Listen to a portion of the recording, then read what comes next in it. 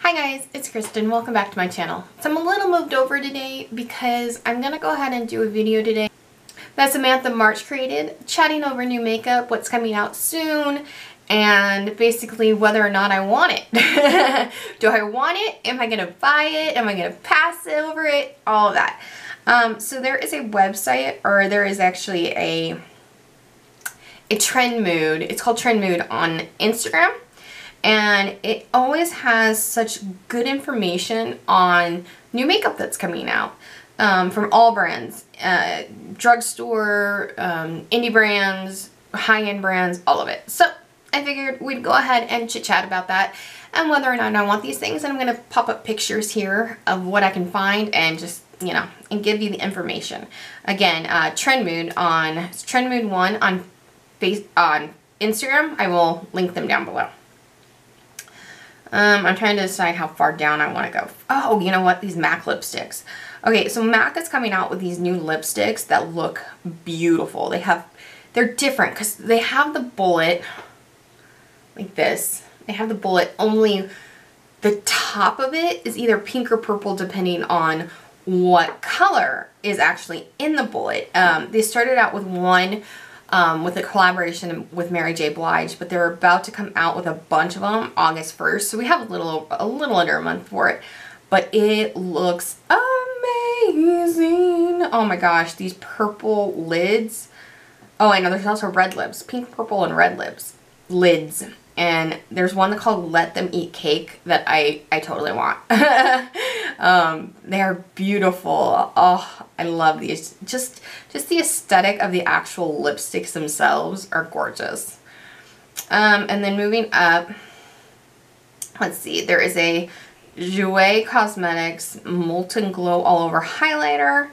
Um, it is a luxur luxurious face and body highlighter that gives you a ultimate luminous radiant glow with one swipe of the Petite Kabuki brush included in the set. Hmm.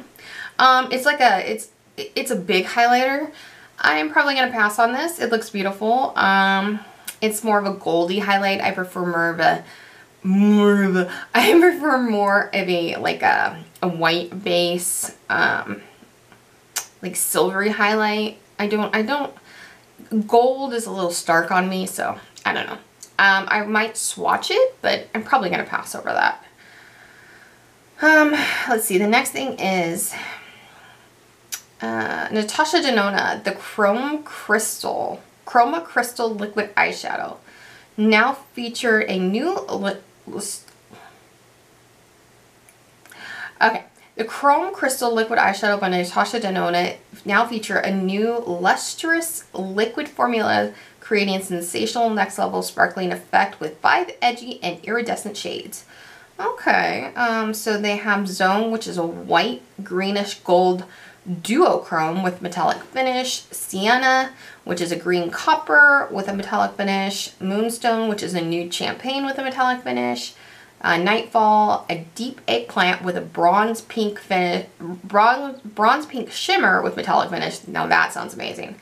And Abad, Abad, Abade, golden bronze with metallic finish. Um, honestly, Nightfall sounds like my kind of color, but I, I these are like, let's see, they're $25 each for 0.27 ounces. Natasha Denona, Natasha Denona I love her pressed eyeshadow, but I'm I like the Stila ones. The Stila one, I, I don't I don't know if it's on here, but Stila just came out with matte um, liquid eyeshadows, kind of like their shimmer glow and their glitter and goes. I'm all over that. I'm getting those as soon as I can. um, but I'll probably pass over the Natasha Denona ones. Let's see. Um, Morphe has a new bronzer. I don't really I don't think I own anything from Morphe. I used to own the setting spray, which was nice, you know. Um, I don't know, Morphe is one of those brands that doesn't really excite me, doesn't really catch my attention too much. Uh, I don't think that they're bad. Um, I've heard kind of mixed reviews on certain products, but I think I'm going to pass on those bronzers. These Hourglass eyeshadows look amazing. If you love scattered light glitter eyeshadow, Hourglass by Hourglass are new shades. So they're new shades of their existing glitter eyeshadow. Scattered light glitter eyeshadow. And they are beautiful. There's so many different colors. Um, let's see. Oh, okay. There's five different, there's five different shades. But they only have four here. Burnish, Rapture, Rain, Vivid. So what's the what's the fifth one? I don't know. They're really, really, really pretty though. There's a green and like a bronzy color and like a rosy color. Ooh, those are pretty. Ooh. Okay, all right. Um, I'll probably swatch those in person. Oh, but they're even more expensive than the Natasha Denona. They're $29. Um, I'll swatch them. I doubt it. Maybe with a coupon. Maybe with a coupon, I would. I, I think I would rather get these than the other ones, just because I like the um, the Stila the Stila liquid eyeshadows. I'm pretty loyal to those, but these are like a pressed glitter eyeshadow. Um, I mean, I don't know. Maybe with a coupon. Viseart has a new Alco Alico the Downtown Palette. Um, and that celebrates the unique and vibrant spirit of downtown New York City. Oh, it's pretty. It's got a lot of pretty colors. Um, it's got a teal in there, like a mint green, a dark plum, uh, a dark, a darker green, like a foresty green, and some shimmery colors. I don't know that the color story really like goes together. Um, uh, but this is an $80 palette. This is one of their $80 palettes. They have like mini petite ones that I'm interested in. Um, they just came out with a couple, like two new ones that are $38 and they're like, they're considered the mini ones. I, I think I'd be more interested in that, those than this. This just, these colors are pretty that just, I don't feel like that's a cohesive palette. I don't feel like I could make too many looks with that. I don't know. Um, I'm, I'm thinking, I'm thinking if you kind of take, if you take the squares on the bottom, like the, the four pans on the bottom on each side and look at it like that, they could be like quads. And the ones on the top can kind of just add accents to it. Like the pink one on top would definitely be like a transition, but I don't know. I, I think I'd pass on that.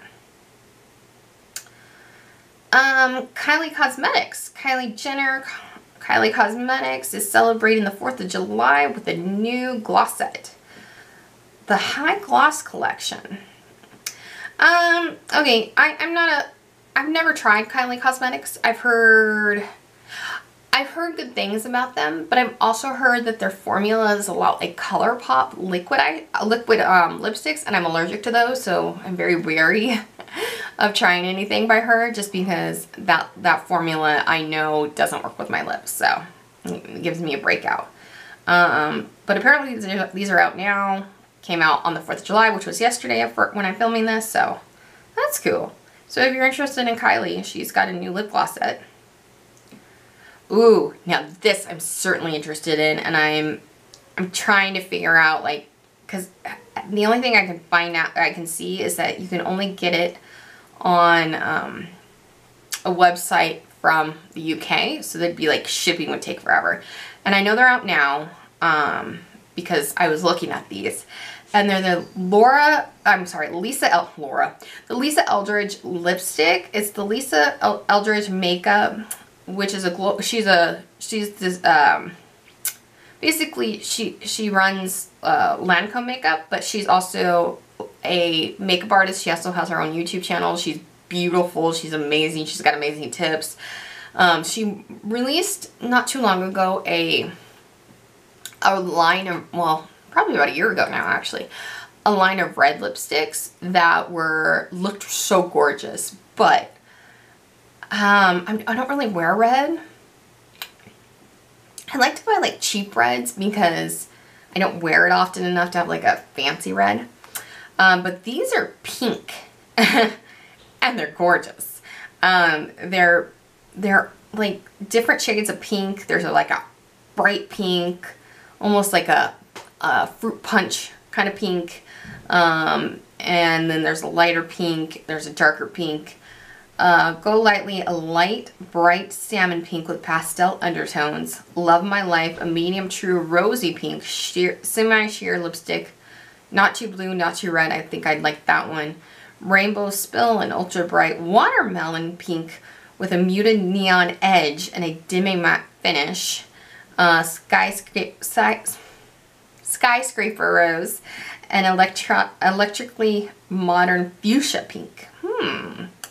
I kind of like I kind of like skyscraper rose and love my life. Those are the two that I think I would I would get. But like I said, you can only get them from the UK. So I'd have to figure out, you know, if I'm gonna have to pay customs and all of that. I'm really, really interested in these though. I'm really, I'm really interested in these. I'm gonna have to do a little bit more research on those. Um, okay, uh, limited edition red packaging, pink and nude for the new YSL Rouge Couture lipsticks coming around September.